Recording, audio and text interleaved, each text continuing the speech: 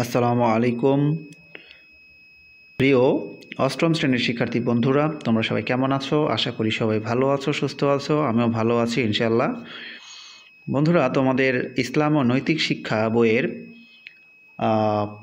প্রথম অধ্যায় অর্থাৎ আকাইদ অধ্যায়ের পার্ট দুই, নিফাক থেকে আমি চারটি প্রশ্নের উত্তর নিয়ে আলোচনা করব এই ক্লাসে।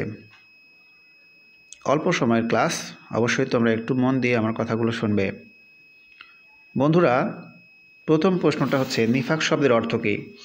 আমি শুধু উত্তর লিখেছি, নিফাক শব্দের অর্থ হলো ভণ্ডামি, কপটতা, প্রতারণা, দ্বিমুখী নীতি ইত্যাদি।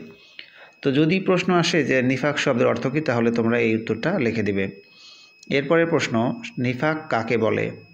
বা নিফাক কাকে বলা হয়? ইসলামী পরিভাষায় মুখে ইমানের শিকার ও অন্তরে অবিশ্বাস করাকে নিফাক বলা হয়।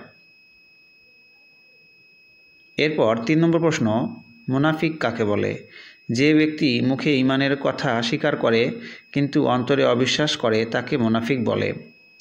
আমি আবারও বলছি, যে ব্যক্তি মুখে ইমানের কথা স্বীকার করে, কিন্তু অন্তরে অবিশ্বাস করে, তাকে মুনাফিক বলে। এরপরে প্রশ্ন আসতে পারে, মুনাফিকের চিহ্ন কয়টি? উত্তর, মুনাফিকের চিহ্ন হলো তিনটি।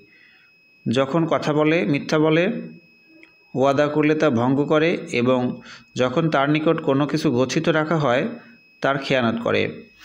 বন্ধুরা, তাহলে যখন তার কাছে কোনো কিছু গচ্ছিত রাখা হয়, তখন তার কি করে? খেয়ানত করে। এখানে করে শব্দটা উঠেনি তো অবশ্যই তোমরা একটু বুঝে নিও বন্ধুরা।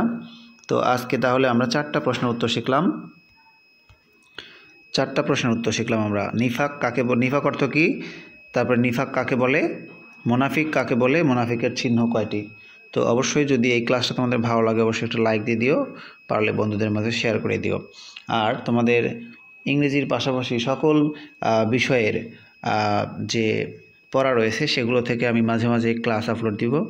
তোমাদের পড়াতে একটু সহযোগিতা করার জন্য। তো সবাই ভালো থাকো, সুস্থ থাকো। আল্লাহ হাফেজ।